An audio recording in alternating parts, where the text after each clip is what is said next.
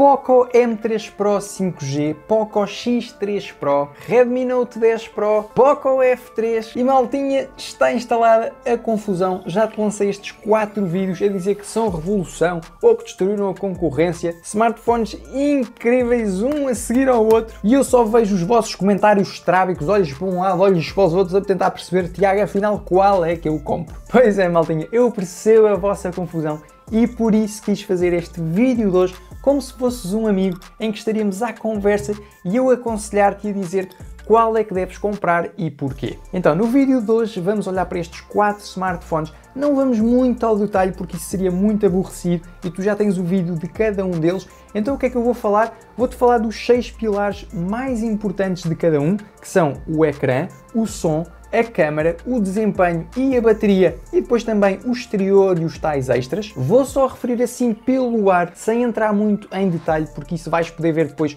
no vídeo do smartphone que tu escolheres. E então vamos começar pelo mais básico. Vou-te dizer o que é que ele tem, o que é que ele faz, para quem é que ele é aconselhado. E depois saltando de preço em preço, vou-te dizendo, olha, mas se tu preferes a câmera, então se calhar este aqui é melhor porque o outro não é tão bom, ou se queres bateria, ou se queres desempenho. Então vou-te falando dessas diferenças à medida que vamos subindo na escadinha do preço e tu vais logo adaptando as tuas necessidades e vais vendo qual é que será melhor para ti. Uma coisa eu quero deixar clara, não há resposta errada. Qualquer um que tu escolhas, vais adorar pelo preço, são mesmo smartphones incríveis. Mas agora, queria ajudar-te a explicar um bocadinho melhor o que é que cada um tem, porque depois há vantagens e desvantagens, eles vão subindo no preço, mas não fica tudo melhor. Enfim, acho que vai ser um vídeo muito giro. Já sabes que vais ter os links na descrição com as características completas, com os preços também atualizados, códigos de desconto exclusivos método de envio para não parar na alfândega e se vier de Espanha demora 24 horas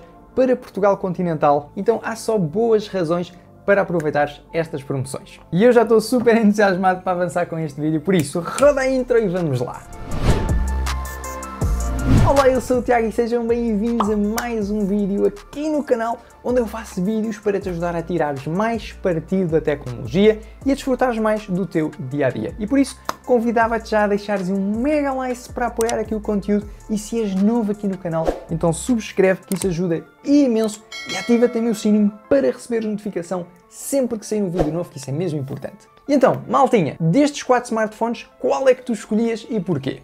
Diz-me lá nos comentários, gostava mesmo de saber as vossas opiniões e o que é que tu mais valorizas num smartphone, porque hoje vamos ver isso e qual é que vale mais a pena pelo preço de acordo com isso que tu mais valorizas. Então, logo para começar, vamos pegar pelo no mais baratinho, que é o Poco M3 Pro, que é um smartphone extraordinário pelo preço e estás a tentar gastar o mínimo possível, então desta lista é um smartphone muito bom. E começando então pelo ecrã, que é aquilo que tu vais ver mais vezes, temos um IPS LCD com resolução Full HD+, porque ele é um bocadinho mais esticado, como todos, tem uma taxa de refrescamento de 90 Hz e um brilho máximo de 500 nits. Por isso é um ecrã bastante razoável, está protegido por um vidro Gorilla Glass 3, que é a parte da frente do telefone, ele atrás é de plástico, para ser mais baratinho, e depois em relação ao som, tem apenas um altifalante, que dentro desta categoria de preço Pronto, não é o ideal, mas continua a ser o mais comum deste preço. Em relação ao desempenho, é muito bom. Temos um MediaTek Dimensity 700 5G, por isso vai correr tudo o que tu quiseres.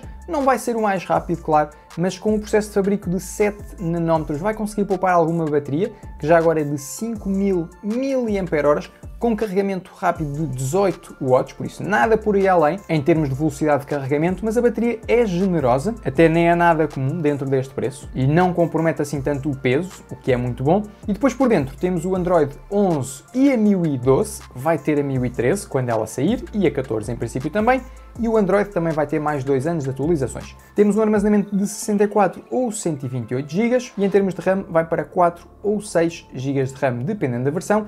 E já agora falar que tem uma entrada micro SD para expandir o armazenamento, que é o FS 2.2. Portanto, não é o armazenamento mais rápido, mas está bastante ok. E aquilo que também muitos perguntam são as câmaras esta é de 48 megapixels, abertura de 1.8 no sensor principal, claro, e depois temos mais dois sensores, um macro e outro de profundidade de 2 megapixels cada um. A câmera de selfies é de 8 megapixels e posso dizer-te que por este preço os resultados da fotografia estão muito bem.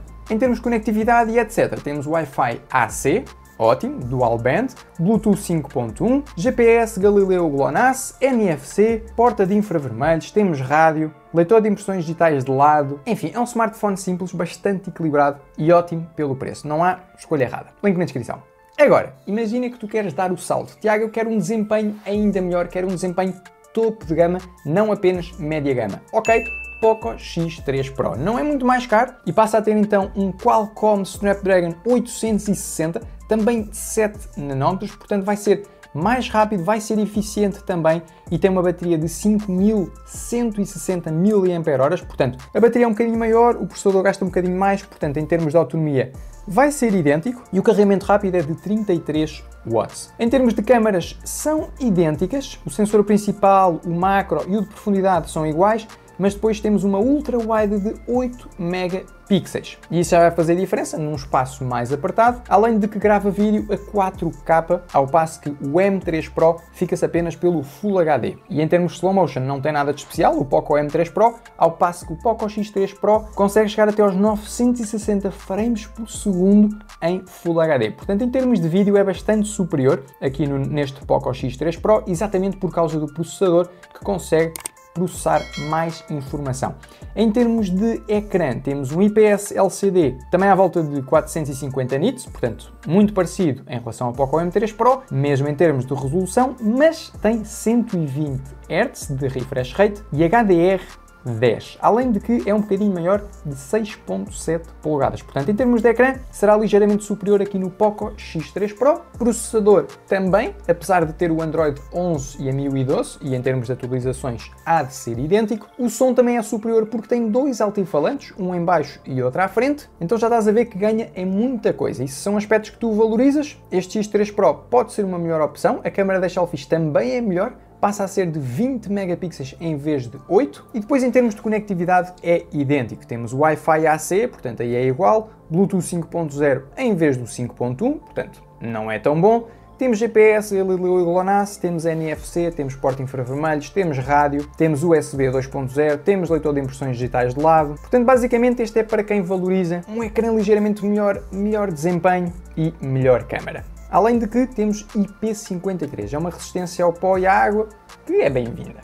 E aqui vem o salto mais complicado. Redmi Note 10 Pro é mais caro, no entanto, não é melhor em tudo, é pior em algumas coisas. Então vamos por partes. Ele é um smartphone ligeiramente mais leve e mais pequeno, atenção, ligeiramente, porque o ecrã é igual, 6.7 polegadas, tanto no X3 Pro como no Redmi Note 10 Pro. Agora, o Note 10 Pro tem uma bateria ligeiramente mais pequena, de 5020 mAh, mas a autonomia pode subir ligeiramente porque temos um processador menos rápido, que é o Snapdragon 732G, por isso não é um topo de gama, é um média gama e num processo de fabrico de 8 nanómetros. Portanto, claramente o processador do Poco X3 Pro é superior. Agora, onde é que o Redmi Note 10 Pro ganha? Porque é que ele é mais caro? Exatamente porque temos um ecrã AMOLED de 120 Hz que consegue chegar aos 1200 nits de brilho, mantendo o HDR10. Por isso, em termos de qualidade de imagem, vai ser superior no Redmi Note 10 Pro. Se é um aspecto que valorizas o ecrã, então Note 10 Pro, temos dois altifalantes, portanto para consumo multimédia é espetacular. O processador vai conseguir facilmente reproduzir tudo o que tu quiseres, jogos, aplicações, vídeos, etc. Mas lá está, não vai ser tão rápido como o Poco X3 Pro, que até agora é o melhor dos três que falámos, porque tem um processador topo de gama, mas se usa o smartphone mais para ver Netflix e etc, então o Redmi Note 10 Pro está ótimo, até porque tem também o Android 11, MIUI 12, vai ter dois anos de atualizações, duas versões, tem também um cartão micro SD para expandir o armazenamento, que é de 64 ou 128 GB, e a velocidade é UFS 2.2, portanto igual ao Poco M3 Pro, mas não tão rápido como o Poco X3 Pro. Por isso, esse é um pormenor que não referi, porque queria fazer esta comparação, dizer-te que em termos de armazenamento o Poco X3 Pro é o melhor dos três, com 128 GB ou 256, portanto é o dobro do Note 10 Pro ou do Poco M3 Pro, além de que tem UFS 3.1, portanto um armazenamento mais rápido. Claramente o desempenho é para o Poco X3 Pro, mais rápido no processador, mais rápido no armazenamento, mais armazenamento, a RAM vai dos 6 aos 8 GB de RAM, aqui no Redmi Note 10 Pro também. Por isso, o Note 10 Pro vai ser bom em termos de armazenamento, mas o Poco X3 Pro vai ser melhor. E o Poco M3 Pro é o que fica em terceiro lugar destes três. Por isso, estás a ver que a escolha não é evidente. E ainda por cima, vamos falar da câmera que é de 108 megapixels. Sim, ouviste bem, é muita fruta. É a melhor câmera dos três, de longe. Podes ver os resultados no vídeo que fiz e aconselho-te mesmo a ver esse, o vídeo de cada um, se ficares convencido com esta mini explicação que te estou a fazer, para saber exatamente quais é são as vantagens e as desvantagens e tudo o que faz cada um deles. E depois o Note 10 Pro tem, tem uma câmera secundária de 8 megapixels, muito idêntica à do Poco X3 Pro. Tem um sensor macro de 5 megapixels, portanto ligeiramente superior ao do Poco X3 Pro e M3 Pro, e depois um sensor de profundidade de 2 megapixels, tal como os dois smartphones anteriores. Em termos de vídeo, grava a 4K e a câmera de selfies é de 16 megapixels. Já agora referi que os três têm ligação de 3.5mm o Audio Jack. Em termos de conectividade, temos Wi-Fi AC, temos Bluetooth 5.1, GPS, Galileu, GLONASS, NFC, infravermelhos, rádio, portanto aqui é tudo igual, até o leitor de impressões digitais de lado também o carregamento rápido é de 33 watts, tal como no X3 Pro. Por isso, se ficaste confuso, quem é que vai optar pelo Note 10 Pro e quem é que opta pelo X3 Pro? X3 Pro, melhor desempenho. Note 10 Pro, melhor câmera, melhor ecrã e mais caro. Isso é que é pena. Mas é assim. Então estás a ver que quanto mais gastas não é necessariamente melhor. Para quem valoriza o desempenho, está muito feliz com o X3 Pro. Agora, vamos para o grande campeão, Poco F3, portanto o mais caro de todos. Dizer-te que ele tem IP53, uma resistência ao pó e à água, tal como o Note 10 Pro e o Poco X3 Pro, portanto só o M3 é que não tem. Em termos de peso é idêntico ao Note 10 Pro, o ecrã é muito idêntico também, estamos a falar de um ecrã de 6.7 polegadas, resolução Full HD+, AMOLED, 120 Hz, HDR10 Plus, portanto ligeiramente superior ao HDR10 do Note 10 Pro, 1300 nits, ligeiramente superior aos 1200 do Note 10 Pro. Temos Gorilla Glass 5 a proteger o ecrã da frente, tanto no Poco F3 como no Note 10 Pro, ao contrário do Poco X3 Pro, que tem um Gorilla Glass 6 é o melhor vidro de todos estes quatro smartphones que falámos. Não me perguntes porquê, é o que é. Já agora eles são todos dual SIM, dão para dois números diferentes a funcionar em simultâneo e quase que davam todos para armazenamento externo, se não fosse o Poco F3 que não tem a gavetinha para o cartão micro SD. O que ele tem sim é um armazenamento base de 128 GB, tal como o X3 Pro, que é o dobro dos 64 onde começa o Note 10 Pro. Podes depois optar por uma versão de 256 GB de armazenamento, que já passa dos 6 para os 8 GB de RAM e é UFS 3.1. Portanto, voltamos a ter um armazenamento super rápido como o Poco X3 Pro. E o processador?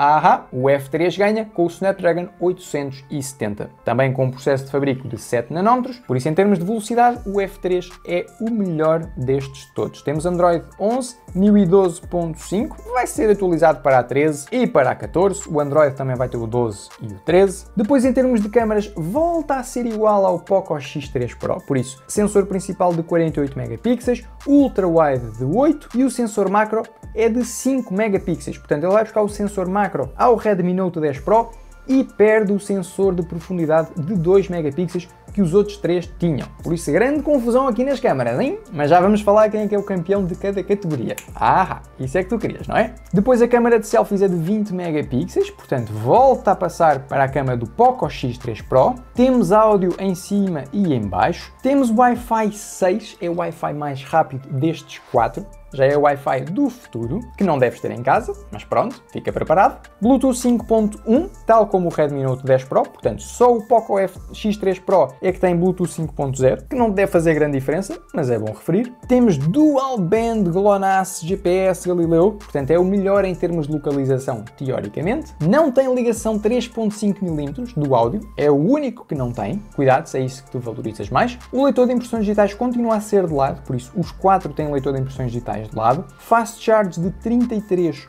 watts, também como o X3 Pro e o Note 10 Pro, se bem que este aqui tem Power Delivery 3.0 e Quick Charge 3+, E a bateria passa a ser de 4520 mAh, portanto é a bateria mais pequena de todos que parece não ficar muito comprometida, ou seja, o processador está eficiente, mas é um pormenor a terem atenção. E já agora, é o único também que não tem rádio, apesar de continuar a ter USB-C, infravermelhos, NFC e por isso é um smartphone muito completo. E agora a grande conclusão que vocês queriam. Campeões por cada categoria. Portanto, campeão do preço Poco M3 Pro. Não há dúvida aqui, é esse. Campeão do ecrã Poco F3. Campeão do desempenho Poco F3. Campeão do som. São os três idênticos, o F3, X3 Pro e Redmi Note 10 Pro. Portanto, o pior no som é o Poco M3 Pro.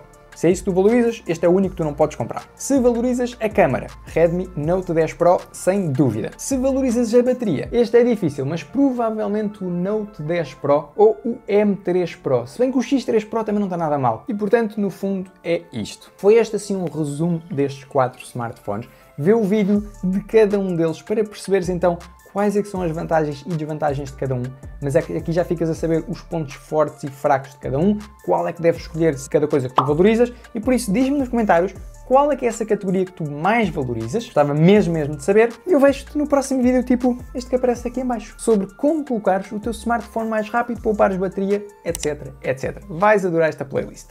Até já!